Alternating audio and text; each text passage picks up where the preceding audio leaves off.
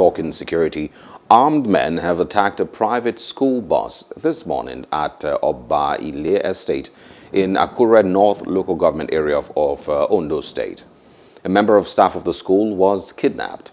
The incident happened just before 7 a.m. as the driver and the victim, uh, the victims rather, were going around to pick students. The assailants were riding on motorcycles when they ambushed the bus. They dragged the driver out, hijacked the bus and drove away. The identities of the captives and their whereabouts are still unknown. The incident has been reported to the Oba Ile police station. According to a source in the school, the gunmen numbering about four and decked in military camouflage were armed with guns, cutlasses and some other weapons. Hello, hope you enjoyed the news. Please do subscribe to our YouTube channel and don't forget to hit the notification button so you get notified about fresh news updates.